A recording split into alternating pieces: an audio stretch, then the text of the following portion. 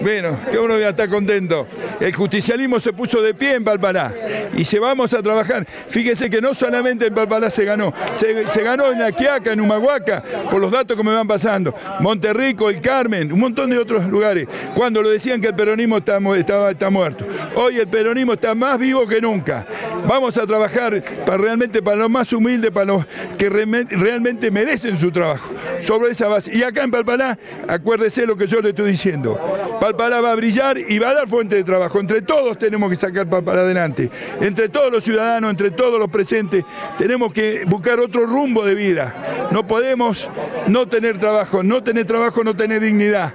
Entonces, en esa base tenemos que empezar a trabajar entre todos. Está muy emocionado. ¿Y cómo no estoy emocionado si mi sangre que está acá? He dejado toda mi vida en Palpalá, 45 años que vengo trabajando en Palpalá.